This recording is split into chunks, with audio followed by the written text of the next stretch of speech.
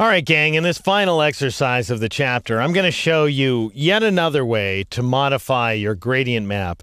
This time, not by meticulously editing color stops, but rather by taking something that's more or less in keeping with what you want and then blending it in with that black and white composite using a combination of blend mode and opacity.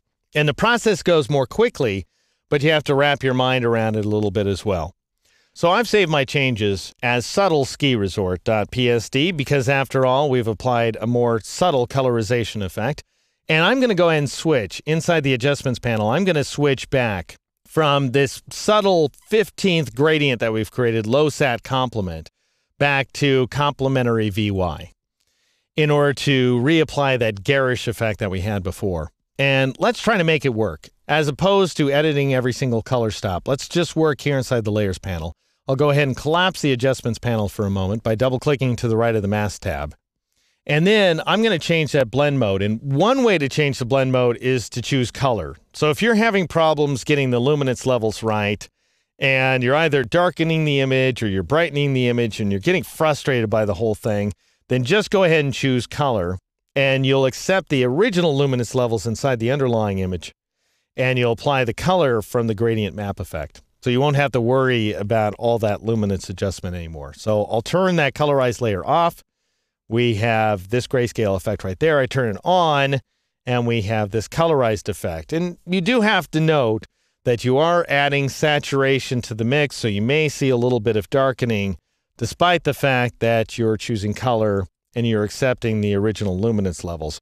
But the darkening effect shouldn't be too onerous. Anyway, that's one way to work. Another way to work is to take advantage of one of these contrast modes here, overlay through linear light. Although my guess is that either overlay or soft light is going to best suit your purposes.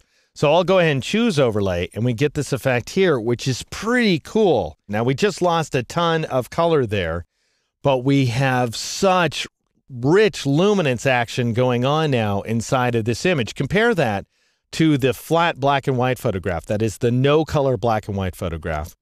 And just imagine adding this color to the mix and outputting that to your inkjet printer, how many rich luminance levels you're going to have available to you. Same thing if you're reproducing the image commercially using all four process colors cyan, magenta, yellow, and black. You're going to get a rich array of luminance levels. Now, we're over darkening the effect at this point. So we could back it off if we wanted to. I could reduce the opacity, say, to 60% and decide whether I like that effect better. Or I could go ahead and even switch down to the soft light mode. Now I'm going to lose more color when I do that. However, once again, we still have a lot of color going on inside of this image. It's just basically under the radar at this point. We're not screaming, hey, I've got a colorized image. Look at it. It's a big sepia tone. Instead, we're creating a super high quality duotone image that's going to print super successfully. And again, it's going to look like a wonderfully rich black and white image. And again, this combination here of soft light and 60% works really well where this particular image is concerned. So this is the standard black and white, plain black and white version of the image. And this is the subtly colorized version of the image filled in with soft light and an opacity level of 60%. Now, I know some of you are just begging, hey, so we've seen what you can do here using gradient map along with the big sky panorama. What about those goth women that we've lost track of for like two or three full exercises now? Well, let's go ahead and switch back to them. And I've saved the most recent version of this image as sepia tint red frock.psd because we applied that really frankly lame sepia effect using black and white. That tint checkbox, I just don't really approve of it at all. Again, easy to apply, but what is easy now? I mean, you've seen what we can do. So let's go ahead and switch things out.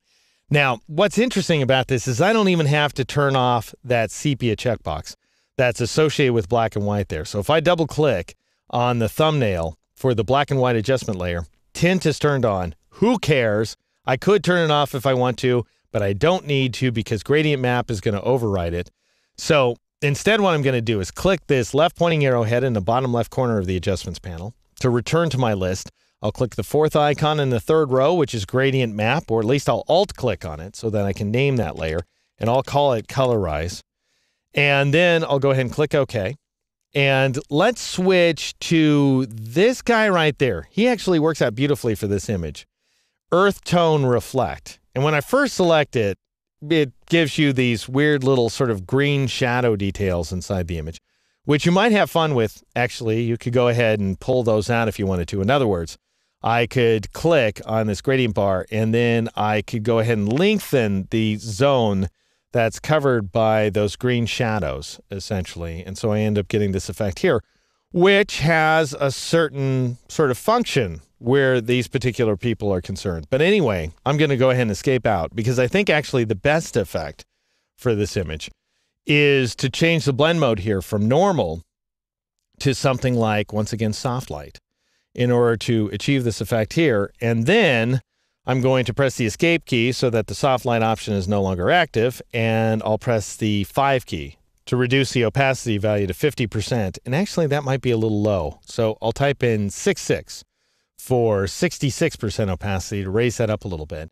And not only does that give us a better effect overall, but it also helps to blend the frock into the image that much better.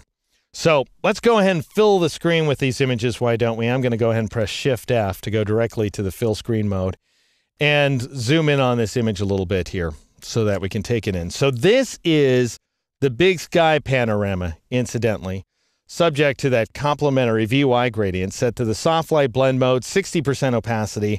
And this is our just gorgeous women that have been with us throughout this entire lesson now, set to the earth tone reflect I think it's called, that gradient. Soft light, opacity, 66%. All right, so there you have it. We've learned how to mix our own custom black and white images using either the channel mixer adjustment or the black and white adjustment. I've also shown you the best way to infuse colors into your black and white photographs, and that is using Gradient Map.